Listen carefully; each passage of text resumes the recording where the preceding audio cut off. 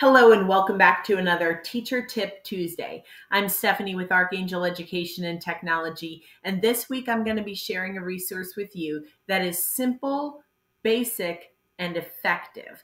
As teachers and administrators, it is essential that we keep up to date, detailed documentation regarding each meeting that we have with either a support team, a parent, uh, a any kind of meeting uh, regarding particular students. And it is essential that we keep these notes uh, quickly accessible, that we can pick up and add to them uh, as ongoing meetings are uh, are taking place. And so I wanted to share with you something that uh, the resource team at my first school uh, came up with many, many years ago. And we grew and developed this resource into something that I want to share with you and that you can take and uh, make a copy of and work to benefit your school um, for any particular purpose. So, um, this is very simple. It's just a meeting minutes um,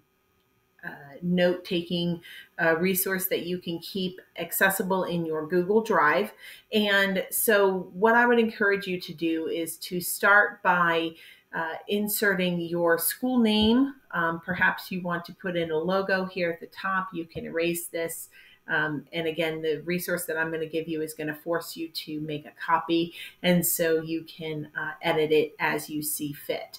Um, and these are just meeting minutes. Um, and so, in regards to this uh, space here, who is the student? Who is the homeroom teacher, the date of the meeting, the grade, and then what type of meeting was it. And so a team meeting uh, in our case was uh, the fifth grade team. And so um, the the teachers that we had came together and we had a team meeting. Uh, if the parents were involved in that team meeting, um, then it became a, a teacher parent meeting. And then if we became uh, joined by an administrator, the guidance counselor, the resource teacher, et cetera, et cetera, it became a, an educational support team meeting. And so what we did was we would have uh, the parent names and uh, the title, who they were uh, in regard to that particular student. At the end of the meeting, uh, in order to keep a hard copy, which was always very important as well, we would print these meeting minutes out, uh, sign it, and then make a copy that we would then provide to each person uh, that was present at the meeting, especially the parents. And so these bulleted points became the recorded minutes of this particular meeting. And then what we did is we took the recorded meeting minutes and de- developed um, action items or decisions that would be made uh, from what the points that were discussed. And then uh, whoever recorded this information would put their name and date here at the bottom. And this was really important and beneficial because this was something that I was able to keep um, in my Google Drive and I always used uh, initials. I never put a student's first and last name uh, on uh, the the title of the document. I would always use uh, first initial, last initial uh, here, um, and so that identifying documentation uh, was kept private. Um, I would re- restrict the users the that were able to. Ex- access this document. And so you can see here that when I pull this up um, right now, I have a copy that anyone with the link can um, view it, make a copy of it, um, and then what I would do is I would um, limit this access to um, who could view it. And so you can always change the settings up here um, and make sure that that's a restricted view for only those people that had access to the documentation.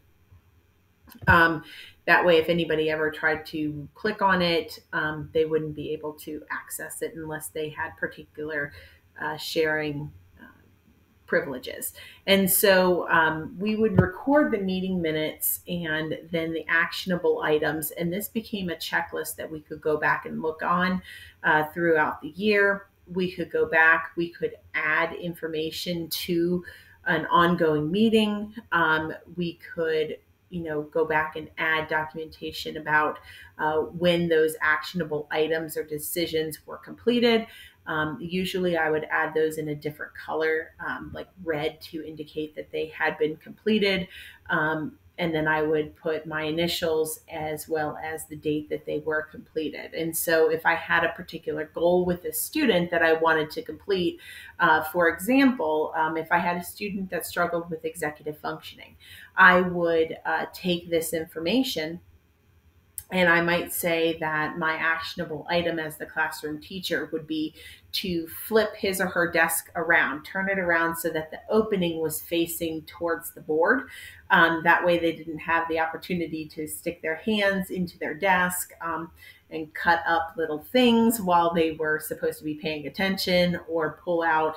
Um, you know, lots and lots of papers, or even the opposite, shove all those papers into their desk. They could um, they would have to actually um, work with the teacher to stand up, go around their desk, pull their items out, and put them where they belong. And so uh, that was, you know, just one example of a strategy that might be used.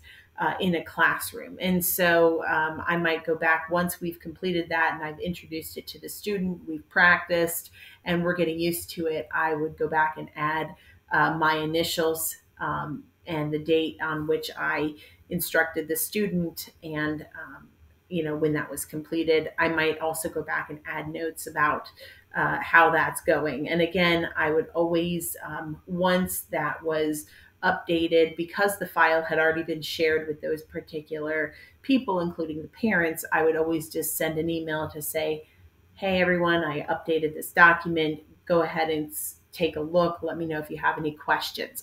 Um, this is a living document, it's a living, breathing document. And so it was ongoing and it was able to be uh, live updated. And so it was always good uh, for the families to be able to see what's going on in the classroom. And I, as the teacher, was able to communicate uh, and keep my administrator involved, uh, the guidance counselor, the resource teacher uh, whomever, we were all able to stay on the same page. And so please feel free to use this document, make your own changes to it, make it a living, breathing document that will work for your school, uh, your classroom, your teachers, your students. And so I look forward to seeing you hopefully this evening at 5:30 on Instagram live where we're going to talk about classroom management techniques. So I look forward to seeing you then. Uh, please contact me if you have any questions. I'm always here to help. I hope you have a great week. See you tonight.